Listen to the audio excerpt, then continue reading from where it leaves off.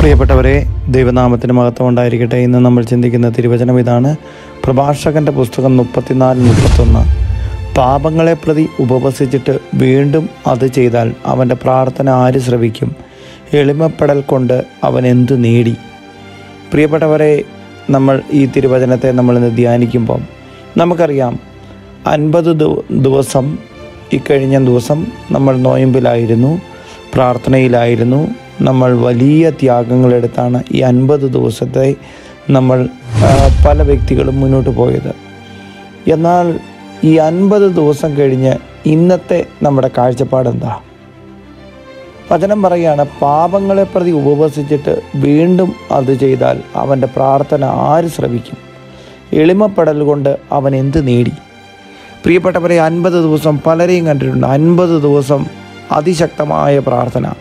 അതിശക്തമായി ത്യാഗമെടുക്കുക അതിശക്തമായിട്ട് ഉപവാസം അതുപോലെ തന്നെ മറ്റ് പാപകരമായ എല്ലാ മാർഗങ്ങളും ഉപേക്ഷിച്ച് ഈ അൻപത് ദിവസം കൃപയിൽ ജീവിച്ചിട്ട് അൻപതാമത്തെ ദിവസം ഈസ്റ്റർ ആഘോഷിച്ച് കഴിയുമ്പോൾ നമ്മുടെ വിശ്വാസം എങ്ങനെ നിലനിൽക്കുന്നു?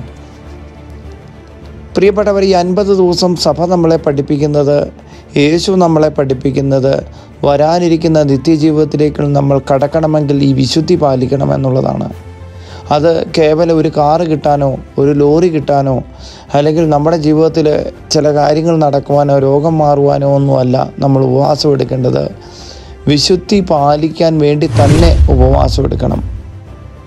പ്രിയപ്പെട്ടവരെ നമ്മുടെ ചെറുപ്പകാലത്തിലും അല്ലെങ്കിൽ പണ്ടൊക്കെ ഒരു രീതിയായിരുന്നു അൻപത് ദിവസം നന്നായിട്ട് ഉപവാസം എടുക്കുക. അല്ലെങ്കിൽ മദ്യപാനം അതുപോലുള്ള വല്ല തിന്മകളൊക്കെ മാറി നിൽക്കുക. അതിനുശേഷം വീണ്ടും ഈ അൻപത് ദിവസം കഴിയുമ്പോൾ പണ്ടത്തേക്കാൾ വലിയ രീതിയിലുള്ള തിന്മയുടെ വലിയ വഴികൾ. അല്ലെങ്കിൽ അൻപത് ദിവസം ചെറിയൊരു എളിമപ്പെടുത്തൽ അതിനുശേഷം വീണ്ടും മാരകഭാവം കർത്താവ് പറയാണ് അങ്ങനെ ചെയ്താൽ അവന്റെ പ്രാർത്ഥന ആര് ശ്രമിക്കും? എളിമപ്പെടുത്തുകൊണ്ട് അവൻ എന്ത് നേടി? പിന്നീട് പറയാണ് ഓ ഞാൻ ഈ പ്രാർത്ഥിച്ചു ഉപവാസം എടുത്തു നോയമ്പെടുത്തു പക്ഷേ ഒന്നും കിട്ടിയില്ല. ചിലർ അമ്പത് ദിവസത്തേന് പല രീതിയിലുള്ള നാവിന്റെ ദുരുപയോഗങ്ങളെല്ലാം മാറ്റും.